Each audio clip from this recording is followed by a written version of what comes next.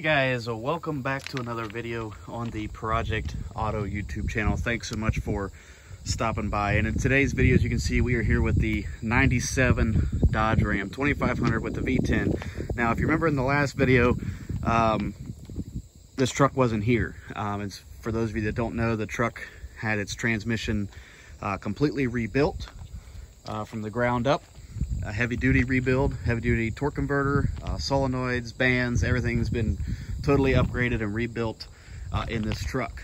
Um, we got it back, as you guys saw, and then uh, it was leaking and I didn't know where from. Obviously it's under warranty, so I took it back to the uh, shop that did the rebuild for me and uh, uh, took them a little bit of time because they've been pretty backed up, you know, with COVID and, and everything else going on in the world today. Uh, they were busy, so they were kind of backed up, so it took them a little while to get it back. Um, but the reason that it was leaking, as you can see right here, these front cooler lines uh, were bad. They were rusted. They were uh, pretty, pretty, in pretty rough shape. Um, so they uh, replaced them. And uh, so we got new front cooler lines. We got the truck back. And uh, this has been my run of luck. Way back home. Um, something flew up and hit the truck. I think it was a rock or or something uh, from the road flew up and hit the uh, the truck, and we started losing transmission fluid. And as you can see, right there, there's a nice hole. It's kind of hard to see on camera, but there's a hole uh, right there. Um, and this is the transmission cooler. Um, so fluid was just kind of pouring out. Um, you can actually see some discoloration in the rocks here where when I got back home and I was messing with it, fluid was just pouring out everywhere. So, um, and for those of you that don't know as, either as well, these Dodge V10s um, parts are extremely hard to find. Um, and when you do find them, you're going to pay an arm and a leg. Um, so I was able to find a direct OE fit uh, transmission cooler. Was about 200 bucks. I know 200 bucks for just this little guy here, uh, but we need it. So we're waiting on FedEx to bring it to us today. Today is Monday. Um, it should be here before too long. It said by 8 p.m. But I'm going to go ahead and show you guys how to remove the old transmission cooler. Um, and then we'll get the new one installed once it gets here. So without further ado, let's get started. So this video is gonna pertain only to this truck. So this is a 97 2500 with the V10. Now every truck is different. Um, I don't know if all V10 2500s have the cooler in the same spot. I assume they do. Anybody can correct me if I'm wrong. Um, but the reason I say just this truck is I want to come over here and show you the other truck that we have. Um, that's our parts truck for that truck. Um, as you can see, there's no cooler up here in the front uh, like the uh, the one is on that truck. So the 1500s with the V8s um, or even the 2500s with the V8s might be a little bit different, um, but this is going to be for the 97 2500 with the V10. So let's get started. So all you're going to need is a basic socket set. Um, some deep wells might help you, um, some extensions, a ratchet, and then something else you're gonna want is some kind of container to catch any fluid that might come out of the uh, transmission lines right here that go to the cooler. When we take those off, we might lose a little bit of fluid, so you'll want a container to uh, catch any of that fluid so you can go ahead and put it back in the transmission.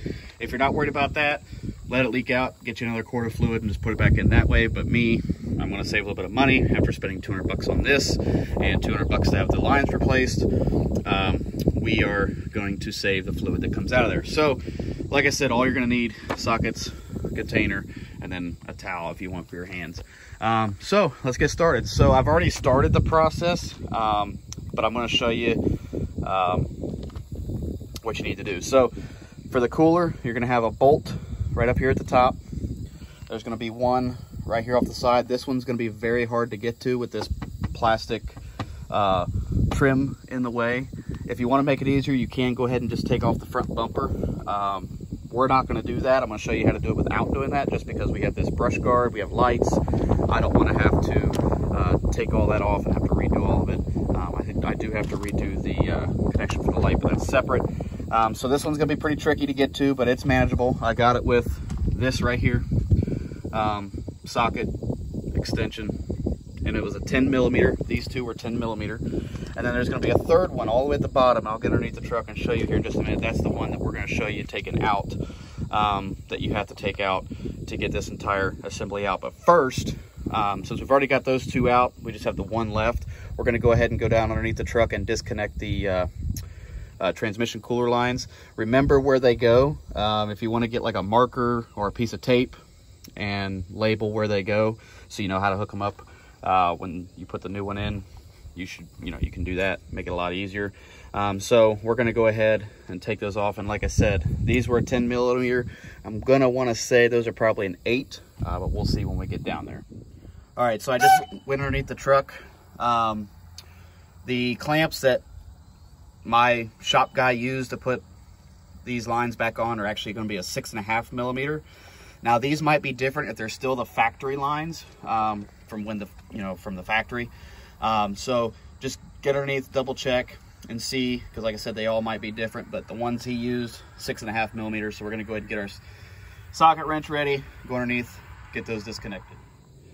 All right, now you're gonna have this little mud guard, whatever you wanna call it, in the way. All you gotta do is just pull it back. And then right there is your two, sorry for the camera quality with the sun glare, but there is your two clamps. Go ahead and remove those. And just like I said, remember where they go. So the, the way I'm gonna do it is if you can see how these cross over here, the one that crosses over underneath goes to the line closest to the front of the truck. And then the other one that goes on top goes to the one that's away from the truck, towards the back of the truck. So that's how I'm gonna remember it just to make it easier. And uh, we'll do it that way. So I'm gonna go ahead and get these disconnected. Alrighty guys, so as you can see, we lost a little bit of fluid out of that line, not much, just a little bit. Um, so we are gonna go ahead and actually put a rag up there because it's still dripping just a little bit to kind of help keep that from uh, losing too much more. Um, or we can go ahead and just leave this container underneath here. But we got both of those lines disconnected. Um, so now what you're gonna wanna do is, there is the last bracket right there. It's gonna be a 10 millimeter as well. This one's gonna be very tricky to get to because you have these lines in the way. Um, so a, an extension and a 10 millimeter will work just fine. You can get up in there, loosen that up, and we'll be able to take the, uh, the uh, cooler out. Now another quick tip, um, if you've already taken the top two bolts out, go ahead and just tighten the, uh, the top one right here by hand. Just put it back in a little bit. That way, when you take that bottom bolt out of the bracket, this thing just doesn't come flying down and, and drop and get fluid everywhere. We're gonna wanna try to take this out as gently as possible because there's still probably a little bit of fluid inside here and we don't wanna get it everywhere. Um, so just a quick tip, put that one back in or save this one for last. Alrighty guys, so we got that last uh, bolt out. Let me go ahead and show you real quick. Man, it sucks working on these rocks. So right there, you can see that bracket. If I can get my finger in here right there. She's loose. It was kind of tricky because uh, there's not a lot of room and this uh, bumper piece was in the way. Well, like I said, it would have been easier if we would have taken the bumper off, but I didn't want to mess with taking this brush guard off. So to make it easier, you can take your bumper off. If not, it is doable without taking the bumper off. So now let's go back up front. And um, like I said, I put that bolt back in to hold this. So now we're gonna go ahead and uh, it's gonna be hard with two uh, with one hand. So I'm gonna go ahead and take this out, see if I can do it with one hand to keep the, the camera rolling.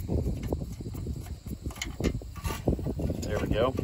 I'm gonna set you guys down for, all right, so now you're gonna wanna get your, uh, any wires that you might have ran out of the way, and then uh, go ahead and drop it down. Pull it out from underneath this hood latch cable and then you should be able to lift it right up out of here.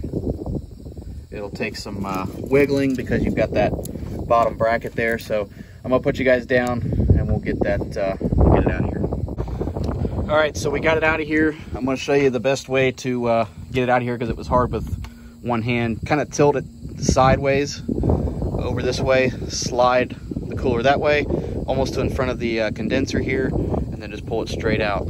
And now that we have it out of the truck, I'll be able to show you uh, the hole. So right here in that little channel, there's a nice little puncture hole. So it looks like something pretty big, um, maybe a rock or something that flattened these fins and punctured a nice hole right in that, uh, see if I can get the camera to focus, right there.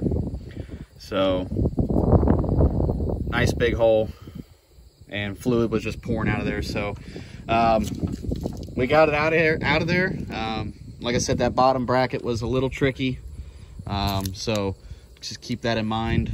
Um, but it's not, uh, not too hard. Now, reasons you would want to replace um, the transmission cooler is really only just, wow, come on camera, what the heck?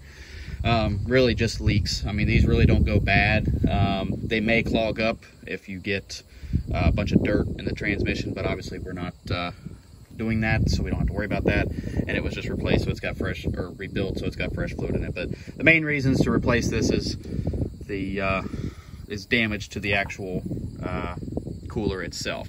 So like I said, every truck's probably going to be different. Um, this one being a 2500 heavy duty truck, it's going to have obviously a bigger cooler because that, I mean, just people use these trucks for heavy duty uh, stuff. So you'll want to make sure that transmission stays nice and cool. Um, and every truck is different of where it's placed. This one happens to be very easy right up here in front. So awesome, good deal. Um, some of them might be hidden, some might be underneath. So you just have to look um, and find out uh, where it's at.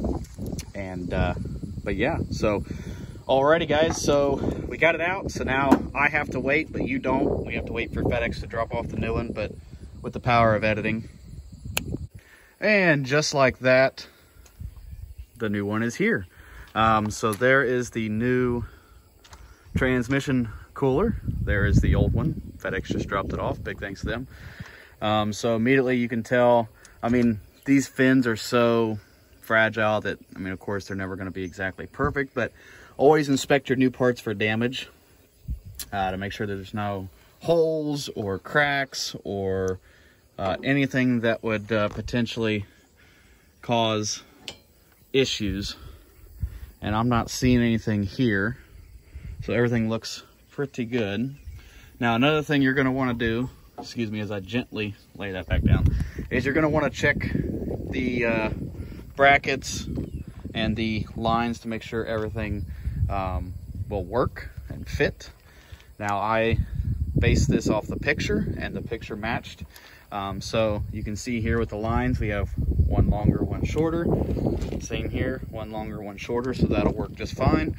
We have top bracket, top bracket, a bracket off the side, and a bracket off the side. Now, as you can notice here, they are a little bit different right off the bat. So this one's kind of angled a little bit different than that one, but it should work just fine. If not, we can make it fit. Now, here's something that I noticed um, that might cause some issues down the road, um, or getting it back installed, I should say. You can see how this bottom bracket that we had all the way at the bottom, the way it's angled. And then if you look at this one here, it's just a little bit different. Now, when I laid this new one over top of this one, those holes for these bottom brackets still lined up, so we should be okay. Uh, but naturally, we'll uh, we'll make sure it fits properly we can get it in there correctly. So, without further ado, let's go ahead and uh, get this bad boy installed. Alrighty guys, so we've got the top bolt in. We have the side bolt in and we just need to get the bottom one in and then uh, hook our lines back up. And if you guys remember correctly, um, a good way to remember how the lines go um, is either to mark them or take pictures. Um, so as we stated earlier, we'll get those uh, put on properly. And I went ahead and left the uh, caps on the lines. You'll want to make sure you do that so no dirt or debris get in those uh, lines to clog up the uh, the new cooler. Um, so yeah, so let's climb underneath the truck. We'll get that bottom bolt in, excuse me, and then uh, we will hook our lines back up, put the fluid back that was lost. We're good to go. Alrighty guys, and just as I suspected, this bottom bracket is a lot different as you can tell. The hole should be there and the bracket's way over here. Um, so I kind of expected this. Um, all of the coolers that were on rockauto.com, um, all three brackets at the bottom were way different um, than what I had. And so this was the closest that they had.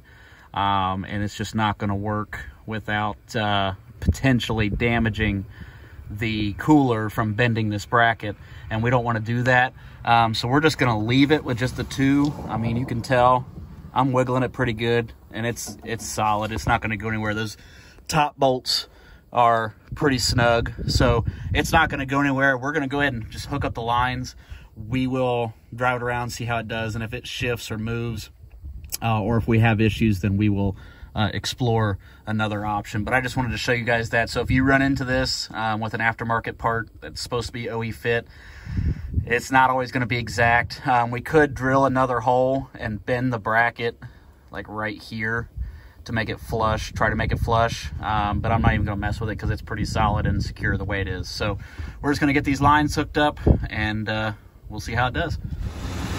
Alrighty guys, so we got the hoses back on. We revved it up, there's no leaks. There's no leaks coming out of this cooler anywhere. Everything looks pretty good. We're gonna go ahead and uh, shut her back off. We'll put that little bit of fluid uh, back in that we lost and we're good to go. So I hope you guys enjoyed the video and if you did, be sure to give it a thumbs up. If you have any comments, leave them below. I'll be sure to answer those for you.